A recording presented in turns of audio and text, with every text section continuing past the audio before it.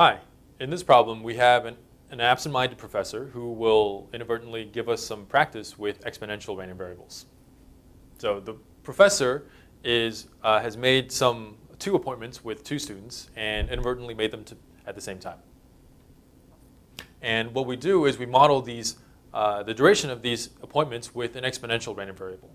So remember, an exponential random variable is a continuous random variable that takes on non-negative values, and it's parameterized by a uh, rate parameter lambda. And the exponential random variable is often used to model durations of time, so time until something happens, or time. So for example, in this case, time until the uh, student leaves or the appointment is over, or sometimes you'll also get use it to be as a model of time until something fails. Uh, and one thing that will be useful is the CDF of this exponential random variable. So the probability that it's less than or equal to some value little t is equal to 1 minus e to the minus lambda t. So this is, of course, valid only when t is non-negative. The other useful property is that the, the expected value of, a, of an exponential random variable is just 1 over the parameter lambda.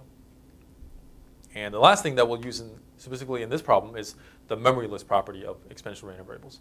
And so recall that that just means that if you uh, pop in in the middle of an exponential random variable, um, the duration, uh, the distribution for that random variable going forward from the point where you popped in is exactly the same as if it had just started over. So that's why we call it the memoryless property.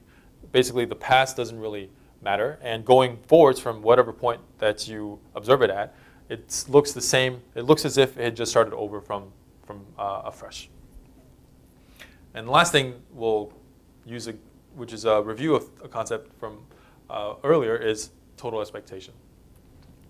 So let's actually model this problem with two random variables. Let's let T1 be the time that the first student takes in the, uh, the appointment, and time two, T2 be the time that the second student takes.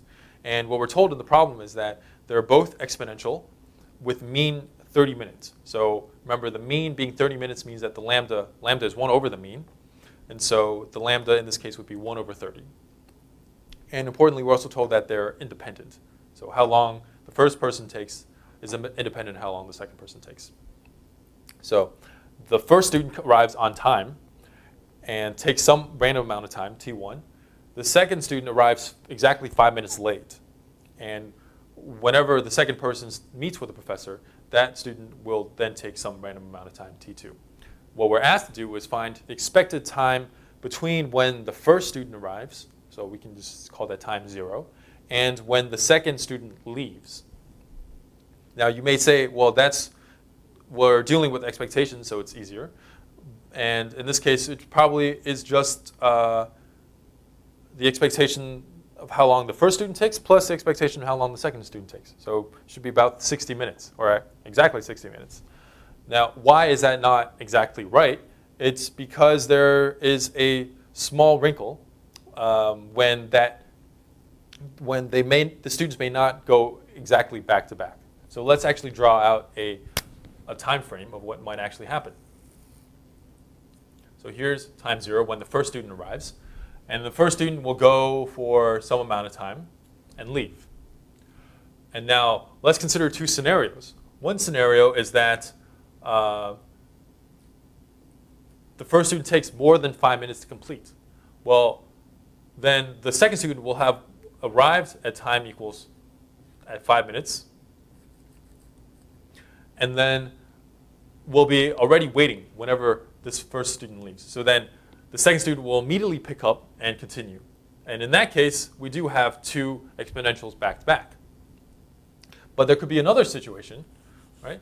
Suppose that the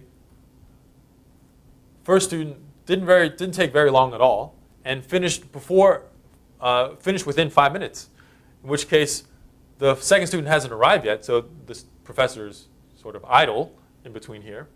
And so we actually don't necessarily have two, two of them going back to back. So there's, a there's a, an empty period in between that we have to account for. Okay, so with that uh, in mind, we see that we have two scenarios. And so what does that beg to use Well, we can split them up into the two scenarios and then calculate expectations for each one and then use total expectation to find the, uh, the overall expected length of time. Okay, so let's begin with the first scenario. Let's say that um, the first scenario is that, let's say the first student uh, finished uh, within five minutes. So what does that mean with, in terms of the, the definitions that we've used? That means T1 is uh, less than or equal to 5, right?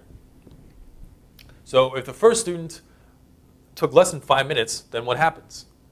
Then we know that uh, the amount, amount of time that you need to take, so we'll call that t, or let's call that something else. Let's call that x.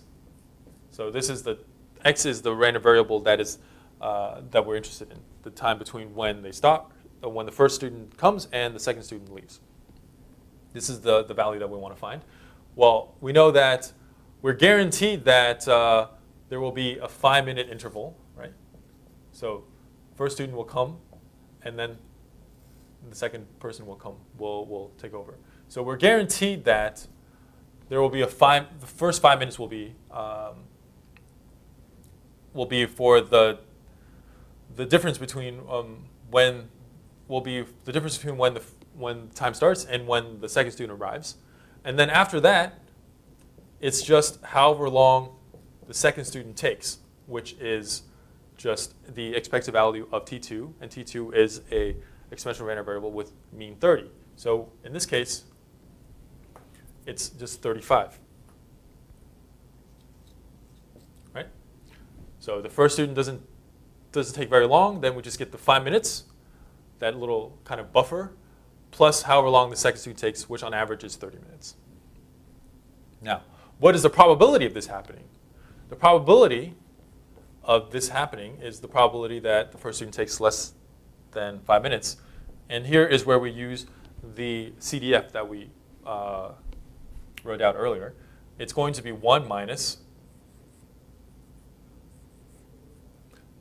e to the minus lambda t. So in this case, t is 5 and lambda is 1 over 30. So it's minus 5 over 30 is the probability. All right. Now let's consider the second case. The second case is that the first student actually takes longer than five minutes. Okay. So what happens in that case? Here's five minutes. The first student came to five minutes. The second student arrived, and the first student is still going, right? So he goes for some amount of time, and then whatever he finishes, the second student continues. So now the question is, what is the total amount of time in this case? Well, it's, you can think of it as um, using the memoryless property. This is where it comes in.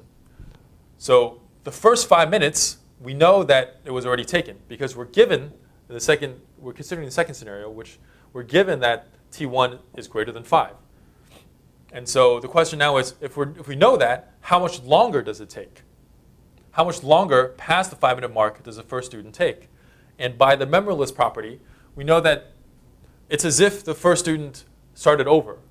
So there was no memory of the first five minutes, and it's as, if the first student kind of just arrived at also at the five minute mark and met with the professor. So past the five minute mark, it's as if you have a new um, exponential random variable still with uh, mean 30. And so what we get is that in this case, you get the guaranteed five minutes, and then you get the memoryless uh, continuation of uh, the first student's uh, meeting, appointment. So you get another 30 minutes on average because of the mem memoryless property. And then whenever the first student finally does finish up, the second student will immediately, immediately take over because uh, he has already arrived. It's past the five minute mark. And then that Second student will take, again, on average, 30 more minutes. So what you get is, in this case, the appointment lasts 65 minutes on average.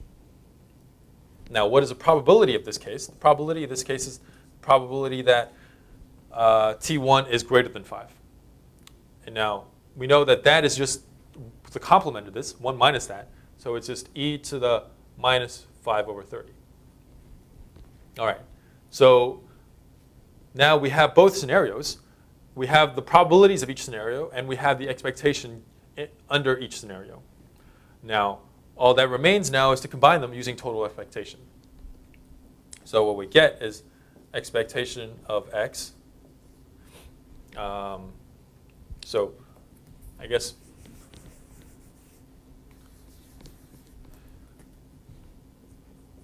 really should have written expectation of x given t1 is less than or equal to 5 here. And this is expectation of x given that t1 is greater than 5. So expectation of x overall is the probability that t1 is less than or equal to 5 times the expectation that of x given that t1 is less than or equal to 5 plus the probability that t1 is greater than 5 times the expectation that of x given that t1 is greater than 5. And we have all four of these pieces here. Right? So it's 35 times 1 minus e to the minus 5 over 30 plus 65 times e to the minus 5 over 30. And it turns out that this is approximately equal to 60.394 minutes. All right, so what have we found? We found that the original guess that we had was if we just had two meetings back to back was on average it would take 60 minutes.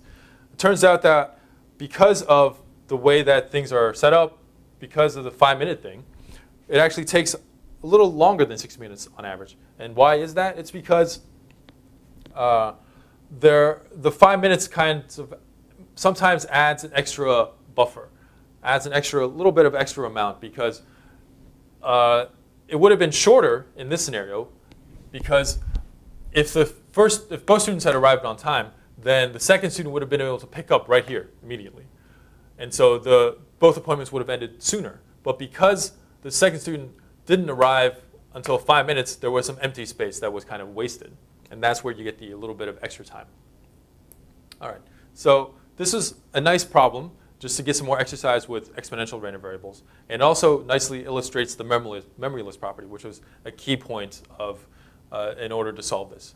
And it also is nice because it, we get to review uh, a useful tool that we've been using uh, kind of all course long, which is to split things into different scenarios and then solve the simpler problems first and then combine them up, uh, for example, using total expectation. All right, so I hope that was helpful and see you next time.